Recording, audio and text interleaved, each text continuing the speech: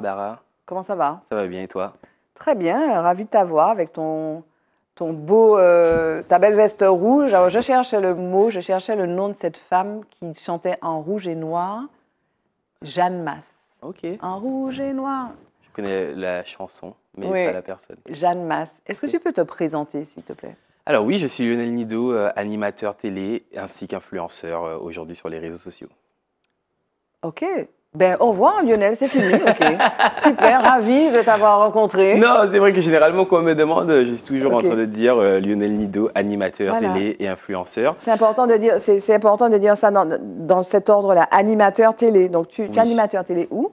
Alors animateur télé sur Trace, Oui. avant sur Via TV, avant sur KMT. Et euh, aujourd'hui en tout cas sur Trace, et puis euh, aujourd'hui aussi influenceur sur les réseaux sociaux. Alors, on va faire les choses dans l'ordre. Animateur télé. Tu es né animateur télé? Euh, je dirais que oui, parce que vraiment depuis petit, euh, quand j'étais à l'époque euh, de- des vacances scolaires en primaire, je me prenais pour Camille Alexandre. Ah, tu, Camille commentais, Alexandre. tu commentais le sport?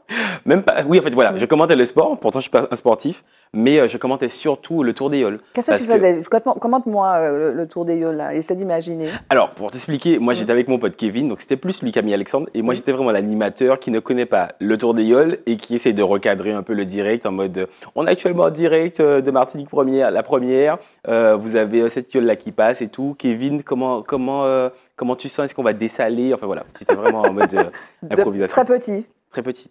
Et euh, dans ma famille aussi, j'aimais animer. Euh, D'ailleurs, ma mère m'avait acheté un micro. Ma mère et mon père, ils m'avaient acheté un micro avec une petite enceinte.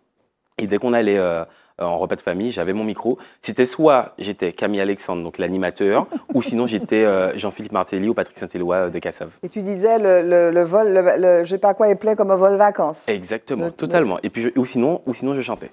D'accord. Tu as grandi où? À Fort-de-France. J'ai grandi à. Fort-de-France, donc du coup. C'est euh, grand Fort-de-France. Il y a combien de quartiers Ou Dans quel quartier? C'est vrai, plus précisément Balata. Ok. Tu te sens de ce, de cette, euh, de ce quartier-là? Ah oui, bien sûr, toute ma famille est, euh, à Balata, euh, ma- de mes grands-parents à mes Mhm. tantes, à mes cousines, parce que moi je suis très famille. Donc du coup, on est vraiment euh, tous, euh, tous là et euh, c'est vraiment la familial. C'est familial. Et alors, donc, tu voulais être animateur télé? Oui. Donc, tu regardais, tu as cité euh, Martinique Première, donc tu regardais essentiellement Martinique Première. Et Euh, tu regardais Camille Alexandre. Alors, je, je prends Camille Alexandre parce que Oui. c'est vrai que c'est ce qui m'avait marqué. C'est ce qui m'a marqué. Pourquoi? Parce qu'au Tour des Halles, c'était la, c'était la période euh, oui. de vacances scolaires. Oui. Mais euh, sinon, je regardais pas mal de chaînes, hein, euh, toutes les chaînes en vrai, via ATV, enfin ATV anciennement, Mhm. euh, KMT, Zouk TV, et puis après aussi beaucoup de chaînes euh, américaines. Et pourquoi, et pourquoi tu voulais faire ça? Ben, je trouvais ça intéressant, au fur et à mesure surtout, de, de faire plaisir aux gens. Mhm. En fait, euh, d'ailleurs, jusqu'à présent, dès que je fais une émission, je me dis, j'ai envie que les gens qui ont passé une mauvaise journée ou euh, dès qu'il y a un problème chez eux, ben, ils puissent oublier, c'est leur moment où en fait, ils pensent à eux et on pense à eux. Et du coup, je suis cette personne qui pense à, Mhm. aux personnes qui regardent la télé, Et donc, et à Trace, donc tu fais une émission qui s'appelle Music Drive. totalement. Donc tu es dans une voiture, c'est du karaoké avec des artistes. Exact. Et euh, en fait, alors pour, pour t'expliquer l'histoire, c'est avec mon ancien producteur Jackson, on a lancé euh, ce, ce projet sur les réseaux sociaux. Mhm. Et euh, finalement, au bout d'une semaine, ça a fait 100 000 vues. Euh, et Trace, par la suite, ils ont appelé mon producteur pour lui dire, pour lui dire on veut cette émission-là chez nous. Et du coup, on est aujourd'hui à plus d'une soixantaine d'épisodes avec une saison qui a été tournée à Paris. Euh, et en fait, l'idée, c'était de voir les chanteurs autrement. Parce que quand on vient en interview, ben, c'est souvent dans des émissions bien strictes, on va dire. Alors que là, il y a vraiment le côté, euh, on est juste deux euh, dans une voiture, on regarde la route Mhm. et on chante ensemble, euh, on revient sur la Et discographie. puis tu as fait le squat aussi. Le squat TV, J'ai vu que totalement. tu as commencé, donc tu disais que depuis petit ça te plaît, Mhm. ça t'intéresse, donc tu as commencé à 16 ans, euh, il me semble, et puis tu as fait squat aussi. Ah, Squat c'était via ATV. Alors, ça le squat, c'était surtout sur KMT. À la- KMT, à- pardon. ça a démarré sur KMT parce que moi, j'ai fait mon stage d'observation en troisième à Énergie Antilles. Mhm. Et après ça, euh, Max Romuel m'a gardé. Il m'a dit, que, il m'a dit Toi, tu as un talent, tu as quelque chose, on, on te garde. Et Mhm. par la suite, je suis passé sur. euh, en fait, l'émission s'est arrêtée sur Énergie. Donc, j'étais chroniqueur dans la libre antenne. Et après, c'est Brigitte Robinel qui me dit euh, Ben, Lionel, appelle euh, Monsieur Laouché et propose-lui une émission. Et je l'appelle, il me connaît même pas. Ouais. Je l'appelle, je lui dis Monsieur Laouché, je veux faire une émission. Je suis un, un jeune avec mes potes, on veut squatter KMT. Et il nous a fait confiance de suite. Euh, il nous a dit Ok, je vous laisse l'antenne le lundi pendant deux heures en direct sur KMT. On connaissait rien du tout, mais on a réussi à tout gérer. Et par la suite, l'émission a pris une ampleur Oui. et euh, Via TV a, a repris cette émission. Et tu t'es défini comme un influenceur. Raconte-nous influenceur, c'est quoi influenceur? Tu influences qui et quoi? En Ben, quoi? Alors, j'aime dire tout le temps que les influenceurs ont toujours existé. Pour moi, un influenceur, euh, il existe depuis longtemps. Une personnalité publique est un influenceur. Si je prends l'exemple de Michael Jackson, à l'époque où il était vivant, il était influenceur. Quand il mettait une veste rouge, en l'occurrence là, la veste rouge, tout le monde sait que on pense à Michael Jackson. J'aime prendre aussi l'exemple de Charlie de RCI. Charlie de RCI, lorsqu'il fait de la promo euh, sur RCI et qui dit aux gens, il y a moins 50% par là, les gens, il a influencé les gens à, à y aller. Et en fait, l'influence a toujours existé, sauf qu'aujourd'hui, c'est le canal de diffusion qui a changé. On est passé sur les réseaux, les réseaux sociaux. Et en l'occurrence, moi, euh, à la base, je n'étais pas du tout réseaux sociaux. Et c'est le Covid qui m'a fait prendre conscience que les réseaux sociaux, il faut s'y mettre. Et surtout ma meilleure amie qui est elle aussi influenceuse.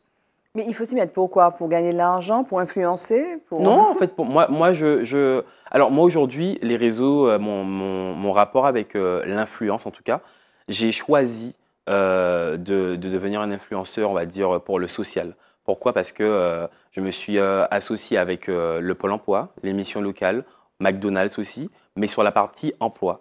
J'ai décidé que de, de mettre mon image pour que les jeunes puissent trouver du travail. Euh, et grâce à ça, on a, on a eu des résultats. Plus de 400 jeunes ont trouvé un CDI juste avec ma communication. Merci, ma communication sur les réseaux sociaux. Euh, là encore, ce matin, par exemple, je travaille aussi avec, avec Alwego euh, en partenariat pour euh, la Music Drive. J'ai- Il y a un jeune qui a été embauché ce matin et qui a eu un CDI chez Alwego. Il m'a appelé ce matin, il m'a envoyé un message sur Instagram pour me dire eh ben, merci beaucoup parce que tu m'as envoyé, tu m'as envoyé euh, euh, euh, l'annonce et du coup, grâce à toi, ben, j'ai eu cette information et j'ai pu trouver un emploi. Donc toi, tu, tu- vraiment, tu, tu donnes du sens à ça. Oui, donc euh, il y, a- y une forme d'utilité sociale aussi. Totalement. C'est Dans, tout- en ce qui te concerne, en tout cas. Oui, en, en ce qui me concerne, parce que moi, je, je- je me dis que je veux avoir un impact, un bel impact. Et euh, surtout, en fait, que les gens puissent se dire, on n'est pas là juste pour faire les beaux et les belles sur les réseaux. C'est un peu ça, non? Le, culte de l'image, en fait, ce que je veux dire, sans le critiquer. hein. Oui, on est dans ça. Enfin, oui, on a toujours été est- avec la ça a télé, toujours le été, cinéma, ça a oui. toujours été. Mais là, mais un peu mais moi, je veux, je ouais. veux ra- ramener du fond, en tout cas dans l'influence, parce que c'est important. Ouais. En, en ce qui me concerne. Pourquoi? Parce que je pense que dans mon éducation aussi, ma mère m'a donné une éducation et mon père, ils m'ont donné une, une éducation en me disant, il faut, il faut penser euh, à la forme, oui, mais le fond, c'est le plus important. Et euh, je pense que dans tout ce que je fais, c'est euh, le fond est important. D'où aussi ce talk show que je lance le 9 avril. Ben voilà, donc tu, tu as- tu- tu as anticipé. Donc le 9 avril, tu lances un talk show. Ça veut dire que c'est une première et qui va se continuer. Totalement. Mais là, pour le coup, tu le captes pas, ce talk show. Alors, ce talk show ne sera pas capté. Mhm. En fait, alors, il sera capté, mais pas diffusé. Parce que l'objectif, c'est vraiment un événement unique, exclusif, où, exclusif pardon, où les gens pourront venir et, euh, et, euh, échanger. En fait, j'ai voulu créer euh, vraiment Tu ce dis talk show thérapie. thérapie. On va, on va aller sur ce mot thérapie. Pourquoi? Parce que, pour, pour t'expliquer la petite histoire, c'est, il y a, ça remonte à 4 ans. Je suis en direct sur Via TV avec le squat. Un soir, un vendredi, on fait un sujet sexe. Et le lendemain, je vais à Fort-de-France. Je croise une dame et elle me dit Lionel, merci beaucoup pour ton émission d'hier. Parce que grâce à toi, j'ai pu enfin discuter sexe avec ma fille, alors que ça faisait des années qu'elle voulait introduire aussi en fait, cette, cette discussion. Et à partir de ce moment-là, je me suis dit, je sais quel rôle et quelle place je veux avoir dans la société à mon âge euh, et quel impact je veux que mes émissions aient sur les gens. Et je me suis dit, en fait, pourquoi pas créer un espace où ben, en fait, le public pourra échanger, mais surtout, je veux insister sur la partie intergénérationnelle. Pourquoi? Parce que je pense que moi, j'ai ce rapport euh, très important avec ma famille, avec ma grand-mère qui est décédée, mais j'avais ce rapport très important avec euh, ma mère aussi, avec mes cousins, cousines. Et j'ai envie de recréer un peu cet espace-là où je me dis, je reçois les gens chez moi D'intergénération. intergénération. Je reçois les gens chez moi à Madiana le 9 avril. Donc, on est en mode dans mon salon. On est Il est grand ensemble. ton salon, Madiana. Moi- ouais, mon salon est très grand. on est ensemble avec le public Oui. et on pourra échanger, discuter sur des sujets totalement universels avec un invité surprise. Je dis mystère, mais, Mais quand tu dis thérapie, c'est peut-être un psy quand même. mais Parce que tu vas pas jouer les psys quand même, Lionel. je ne vais pas jouer les psys, mais peut-être qu'il y aura un psy, on ne sait pas. Non, mais peut-être, je dis ça, mais c'est-à-dire que tu, vas t'appuyer quand même. euh, Non, je fais ma non. vieille, excuse-moi. oui, il n'y a pas de souci, mais non. Je- tu vas peut-être t'appuyer sur ton invité mystère pour répondre. Pour... Exact. L'idée, Voilà. c'est l'invi- l'invité mystère et le fil rouge avec, D'accord. les, avec le public qui lui pose des questions. En fait, le public est l'ADN de cette émission.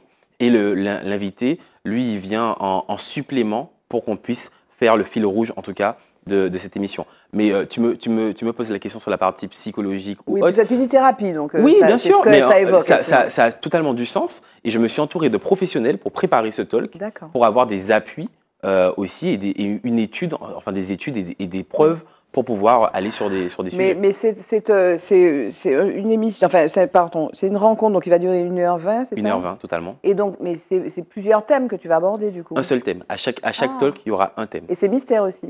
Non, alors le thème sera révélé euh, deux une, une à deux semaines avant le talk. Mais tu veux une Ah, exclue, donc c'est ça? C'est Oui, que tu veux une bah voilà, bah, profites-en, hein, voilà quoi. Bon, allez, c'est pour toi, c'est cadeau.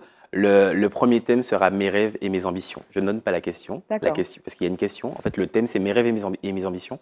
Et il y a une question qui va aller avec. Donc là, du coup, tu attends, tu attends toute espèce de public? C'est Totalement. gratuit au fait? Alors, il faut aller sur Bizouk. Mhm. euh, et du coup, sur Bizouk, on peut se procurer une place qui, euh, qui est de 20 euros. 20 euros. Et donc, donc c'est intergénérationnel. Donc le- les mamans, les papas, les Maman, enfants, papa, les jeunes. enfant. euh, En fait, je veux vraiment que je veux tout le monde parce que je, je prenais cet exemple mhm. en disant, euh, imaginons qu'on prend euh, l'exemple de est-ce qu'on peut pardonner à la tromperie Oui. avec un invité mystère qui vient. Mhm. Et dans le public, il y a un enfant de 12 ans qui est là. On va se dire, mais l'enfant de 12 ans, pourquoi il, il devrait entendre des choses sur la tromperie? Eh ben non, parce que je veux que dans 10 ans, Oui. s'il vit de la tromperie, ce que je ne lui souhaite pas, Mhm. mais s'il vit de la tromperie, qu'il se dise, eh bien, il y a 10 ans, j'étais au talk show de Lionel, et il y a des gens qui, qui- qui témoignaient sur comment vaincre la tromperie, comment se relever, toutes ces choses-là, Mhm. et je veux que ça puisse lui faire office de- d'exemple, Oui. et pour qu'il puisse, lui, sortir de cette tromperie. Donc en fait, donc, tu es influenceur, tu, tu fais de la télé, tu veux faire de la télé depuis longtemps et tu fais de la télé, mais tu veux donner du sens à ça. Donc tu Totalement. fais ces choses-là. Donc c'est une première, il y aura probablement d'autres Oui. talk show thérapie, il y en a quatre pour l'instant. Ça, ça a à voir avec la Martinique, ça en fait. Ça a à voir Bien avec sûr. ton ressenti de la Martinique. Ça a à Mais- voir avec l'état de, enfin, ressenti de la Martinique. Qu'est-ce que tu, comment tu sens ton, ton île?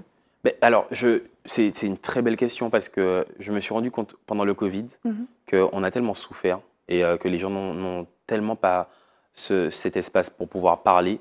Euh, un peu surtout qu'aujourd'hui, aller chez un psychologue, c'est devenu tabou, toutes ces choses-là. Donc je me dis, en fait, si moi je peux aider à travers mon influence, à travers le travail que je fais, euh, euh, d'aider les gens à pouvoir s'exprimer, ça passe par ça et c'est la meilleure des choses. Comment je sens en tout cas mon, mon- mon pays, euh, mon île en tout cas, je dirais que euh, les gens sont en souffrance. C'est vraiment ça, les gens sont en souffrance, ils ont besoin de parler et ils ont besoin d'aide.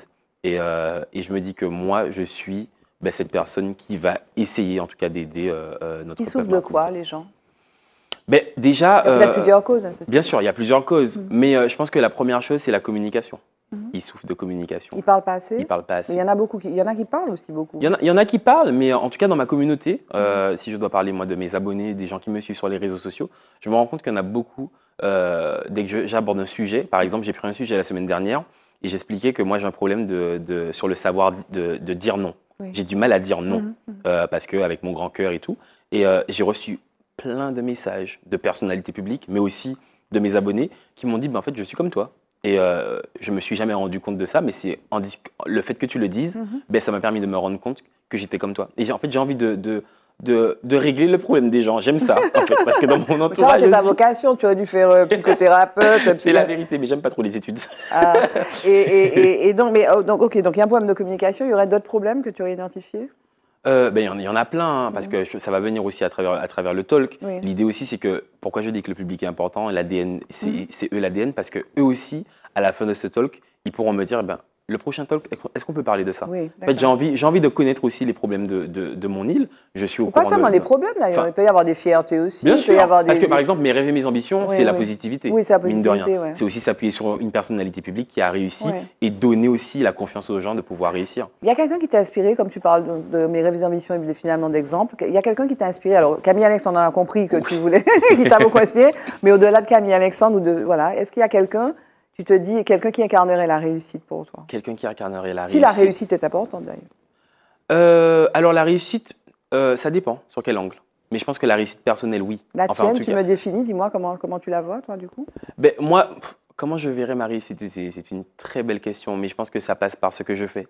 Moi, je me dis, par exemple, quand ce matin j'ai reçu le message euh, de- d'un de, mes abonnés qui me dit il a trouvé un travail, ça c'est une forme de, de réussite pour moi. Mhm. Quand je reçois un message d'une fille qui me dit je cherche un logement et que je l'ai aidé à aller avec des entreprises ou des associations qui sont spécialisées dans ça, ben je me dis ça c'est une, réussite. Quand je vois 400 jeunes qui ont trouvé un emploi et que je les, je les rencontre après et qui me disent merci, j'ai pu avoir un CDI, trouver un toit, trouver une voiture, ça c'est une forme de réussite pour moi. Mhm.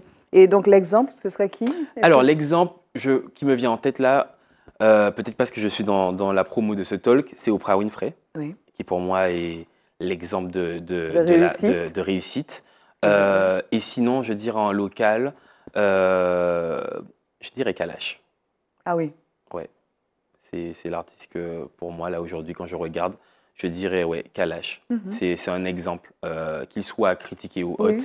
Mais pourquoi un exemple? Parce que c'est un, un artiste qui a réussi ailleurs, mais surtout qui n'oublie pas d'où il pas d'où il vient. vient, ouais. Et moi, c'est très important pour moi Mhm. de me dire que si demain, ben, j'accède aussi à cette réussite, comme lui ou n'importe Oui. quelle pers- autre personnalité, je ne veux pas oublier d'où je viens parce que c'est la base, c'est la fondation. Le mot de la fin, ce serait quoi, Lionel? Le mot de la fin, ce serait merci beaucoup, Barbara. Pour... euh, J'avais un peu peur, hein Pourquoi Parce que j'ai regardé notre épisode, je me suis dit, est-ce qu'elle va m'assassiner ou pas? C'est une personne. En tout, cas, en tout cas, on donne rendez-vous euh, et on rappelle que tu as ton talk show thérapie. Totalement. Tu seras présente?